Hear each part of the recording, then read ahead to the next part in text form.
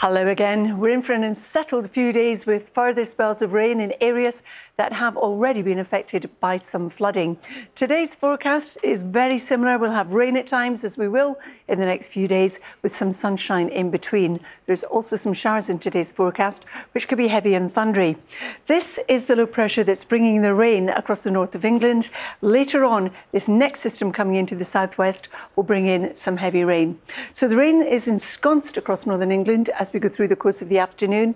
To the north of that, for Scotland and Northern Ireland, we are looking at a mixture of sunshine and showers. And to the south of it, across England and Wales, the rest of England and Wales, we're looking at a mixture of sunshine and showers, some of those heavy and thundery. And then later, the next batch of rain comes in from the southwest. It's going to be a breezy day, particularly along the coasts. And through this evening and overnight, you can see the heavy rain moving across the southern half of England and also Wales, getting into East Anglia and Kent. Again, there could be some rumbles of thunder in that.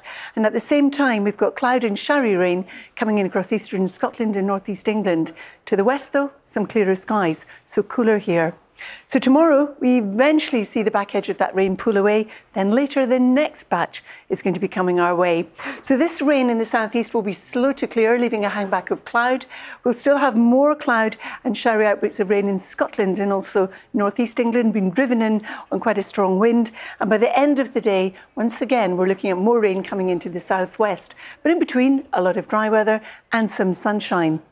Then, as we head towards the latter part of the week, our systems move northwards, taking the rain with them. And then by the time we get to Thursday into Friday, another weather front comes our way, it too bringing some further spells of rain.